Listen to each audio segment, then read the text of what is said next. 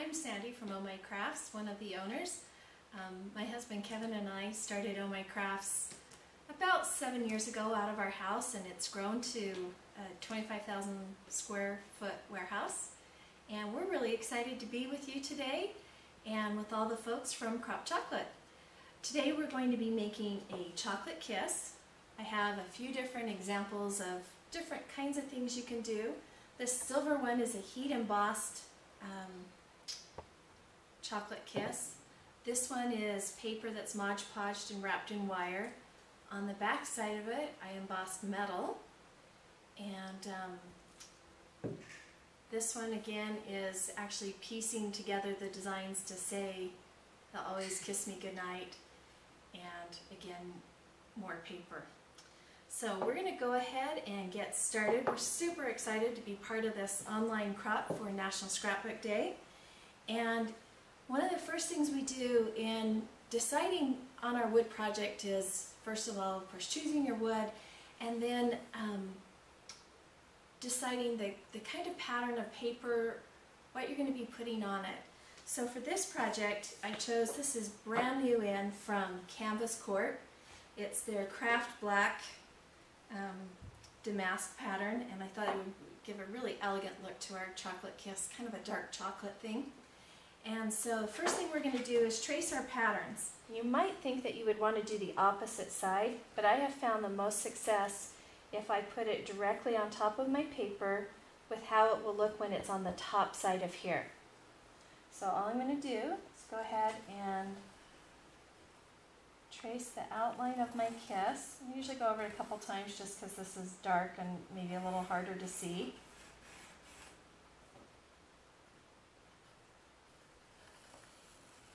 And if you're not as picky about pattern placement, um, you might not have some of the waste over here that I have, but I wanted to see if I could get this pretty lined up with my design. So I don't know if the camera can show that line on there. That one's a little tough to see, but um, we're going to go ahead and cut that out in just a moment. But the next thing we're going to do is trace our kiss, and this one's going to be on this side, so I flipped my wood over. And I'm just going to go ahead and place this on my metal. We are going to use Tim Holtz alcohol inks, and we're going to color this metal.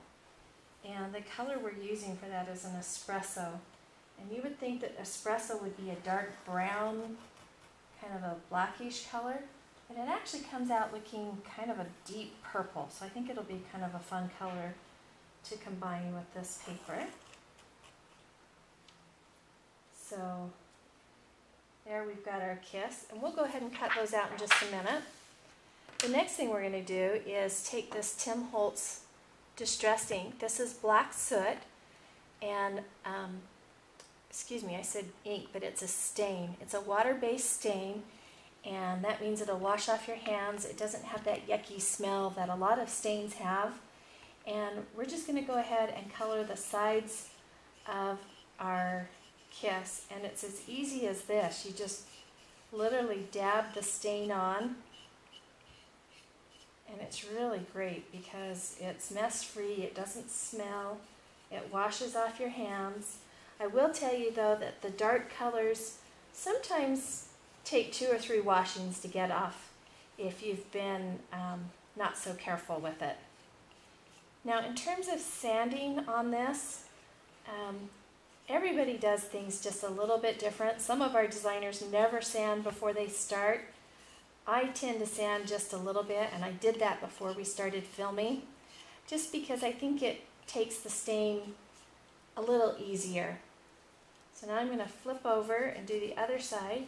And if you find that your stain is um, maybe drying up a little bit, you can gently squeeze on the side of the bottle. And I want to emphasize gently because this little dabber right here, if you squeeze too hard, will pop off and go all over your table and um, possibly your clothes, ruin your project. So you can press, but don't press too hard. Um, you probably have guessed we've had that experience in our design room, and um, it wasn't too much fun to clean up, I'll be real honest. I'll also tell you it wasn't me that did it, so maybe that's why I thought it was a little bit funny because it wasn't me. But as you can see, this just glides on really nicely. And if you get to a spot that is a little tough to get into, this one's not really too bad, but what you can do is squeeze on your bottle just a little bit and you'll see it come out and I just kind of draw it out like that and then I take a foam brush. So on some of our more complicated wood items like when you're going in between letters and things you might need to do this and go over it. You might also be wondering about this pink surface that I'm working on. This is um, a mat from Tattered Angels. It's called a misting mat Bazzill also sells one that's called a splat mat. Um, Lifestyle Crafts has a mat that goes with their letterpress kit. All of them are a non-stick surface. And what that means is you can just put your stuff right on here, just like that, use it, and then when you're done, um, wipe it up. A little bit of Windex or something can go a long way. I just thought as I was going over this, I might fill in just a few more of those little spots and touch up right across the top there and you can see that was pretty fast and not nearly as messy sometimes as painting can be. So while this is drying, we've got our lovely stain there, we're going to go ahead and set this aside. I'm going to take my paper towel and just wipe this off. And if I had Windex right here, I'd clean it off, but that's okay. We'll just dry that off. And now while that stain is drying, we're going to go ahead and cut our shapes out.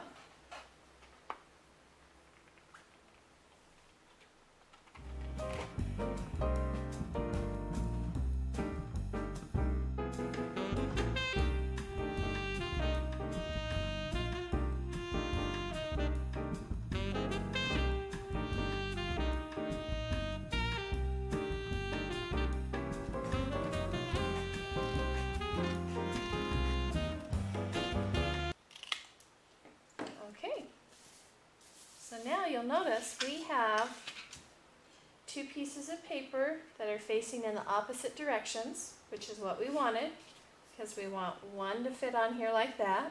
Doesn't that look cute? Then we're going to flip it over, and the other one will fit like that. So it looks like I did a pretty good job of tracing. Everything's there. So while this finishes drying, and it's almost dry now, it dries really quickly we are going to go ahead and ink this. I'm going to be using this Tim Holtz ink applicator and also one of his alcohol ink stains.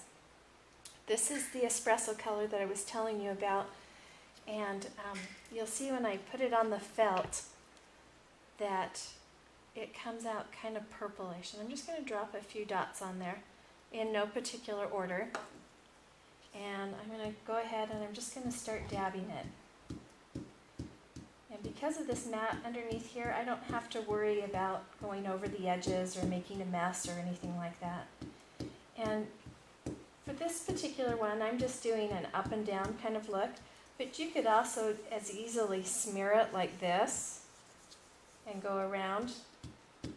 These inks are really fun. They're very forgiving. If it dries out, you just drop another two on.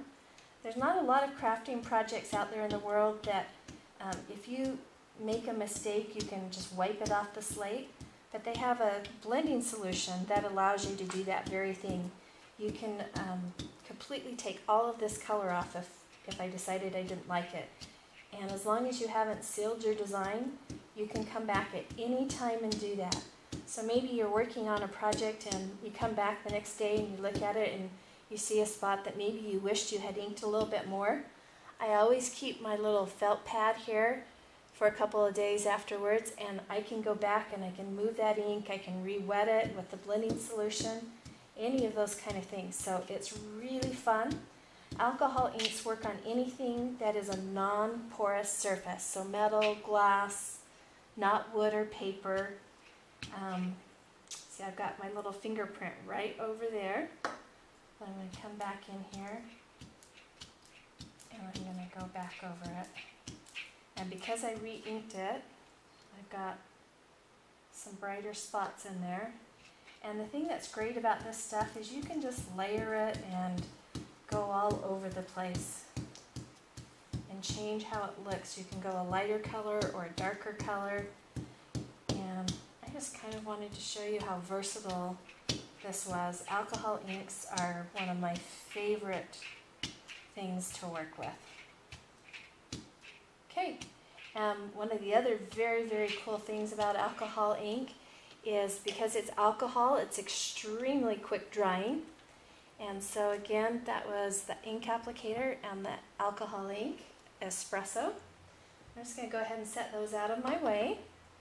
And we're going to move this. Okay, we've got both of our things cut. This one's dry enough for me to touch. We're going to go ahead and slide those out of our way. And this is Mod Podge. Oh goodness. this is why you should always wipe your lid. Um, I'm actually using the matte version of it today. Um, glossy just makes it a little shiner. This is more of a, a matte look. And because of this surface, I can just pour my Mod Podge, just a little bit of it on my mat, just like so. And then I'm going to go ahead and take my foam brush and just dip a little bit in there. And I'm going to go ahead and with the wood grain, just going to paint on a nice even coat. Now you will want to try not to go too far over the edge. We will seal the edge of it when we're all done with the Mod Podge, but if you can just be a little bit neat and not drip over the sides, you'll probably be a little bit happier with your result. If you can notice, I'm putting enough on here, but not super over the top. I want it to be kind of the nice same amount all the way across.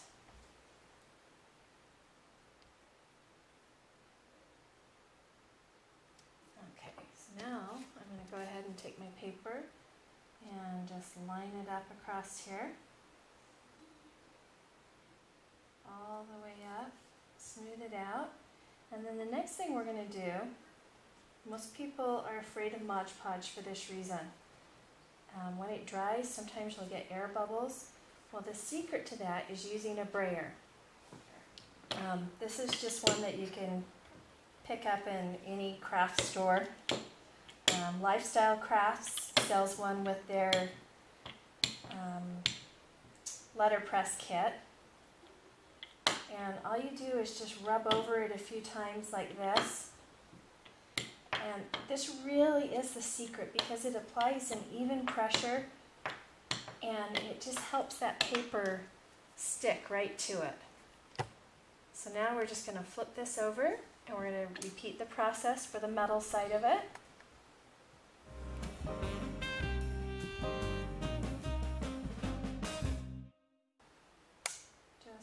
So. So you want it to look kind of opaque, but you don't want to have any big blobs of it. And if you can pay particular attention to some of those top little bits, that's usually where you would have your most lifting.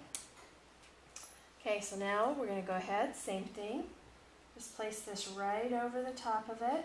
And when you first put it down, you'll notice that it kind of moves a little bit on you.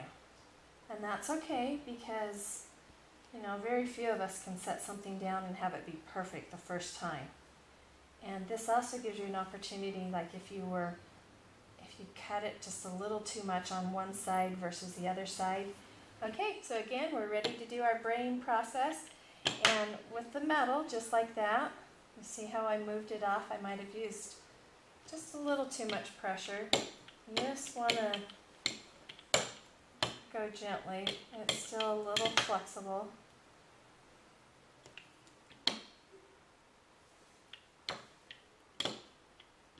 Okay, so then I'm just going to wipe that edge.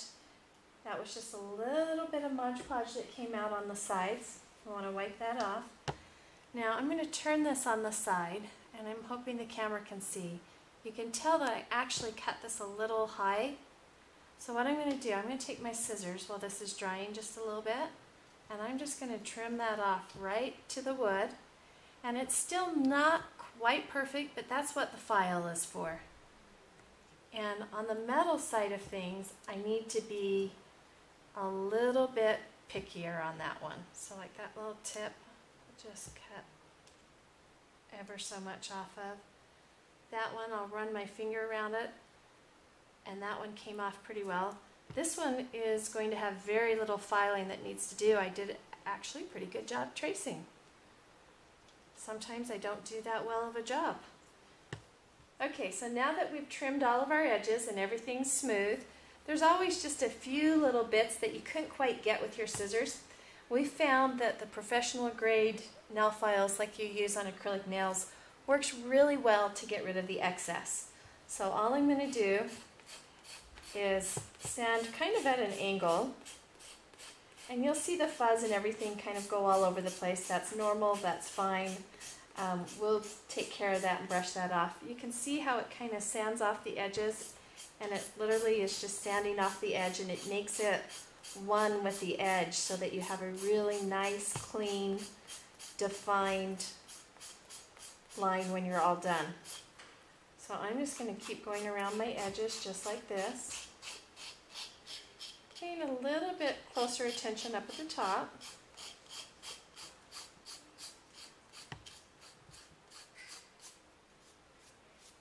And that's going to come off.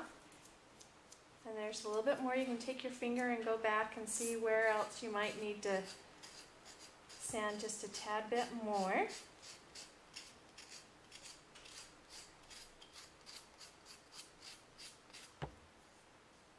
That's feeling pretty smooth. I'll come over to the other side. Now usually when I'm not filming I would just do this right over the trash can. So the mess all goes into there.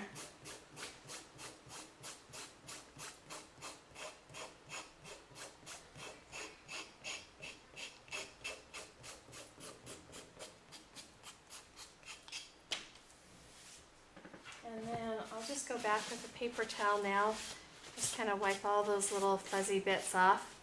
Now, if you find that you have a sharp side even on the metal, you can take your file and sand that metal down just a little bit.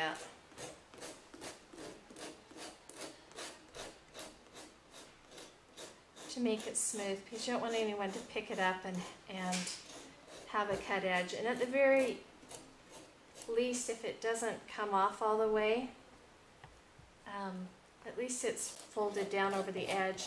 And we're going to ink those edges so you'll never even know that that's there.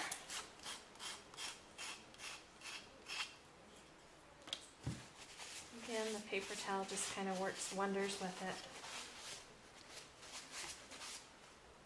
Okay, so there we have our sanded edge. We've got smooth edges all the way around. And the next thing I'm going to do is take the Tim Holtz Distress Ink. This is black soot and also the applicator. Now this one is different. The one that we used for inking the metal was actually like a felt-like piece of material. This one's actually um, a, a foam base and one of the cool things about these tools is that it has this Velcro base on the bottom of it. So you just apply it on and off that way and you can switch between the felt or the foam applicator. The foam applicator we use a lot for inking edges of cards and layouts and all those kind of things. And all you do is just kind of tap it on your ink pad and kind of load it up. When you're using a brand new one, it takes a few minutes to get enough ink on it there, a few taps. And all I'm going to do is I'm just going to go over these edges just like this. And I'm going to smudge it. And what it's going to do is just give some very, very subtle definition to that outer line of my project. And like if I sanded too much in one spot because it's the same color ink as what I used before, it will just cover all of that up. So just like that. And don't forget your bottom. Now, that brings up a question. Do you finish the bottom or do you not finish the bottom? Um, some people don't like to finish it because then you don't have to worry about it sticking to whatever surface your wood might be on. Um, some people like to finish it all the way. If you seal it, I really don't think it should be a problem. Okay, so there is my paper side of the kiss with the inked edges and hopefully you can remember from before, it's just added a little bit of definition to it and it draws your eye into the center. Okay, so the next thing I'm going to do, I'm going to turn this over and I'm going to tap on here a little bit and I'm just going to go over this edge just ever so.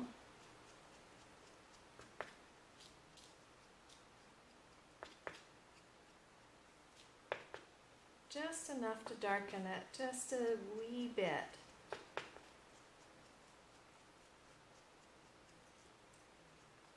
And don't forget your bottom.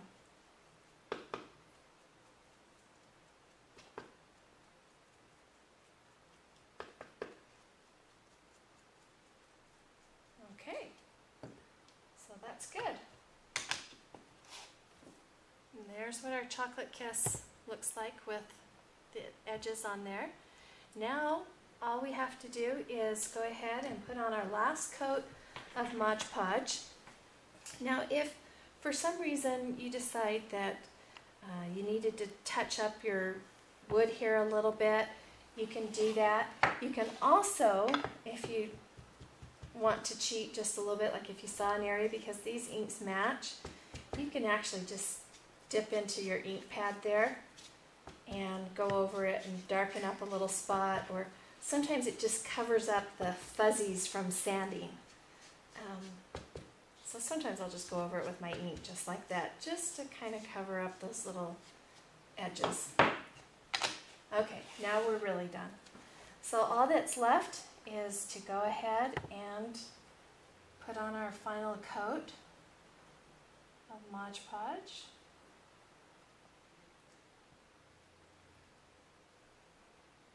You want to be even and you want to make sure that you're dragging your brush in the same direction across your project. And you want to keep that Mod Podge nice and even.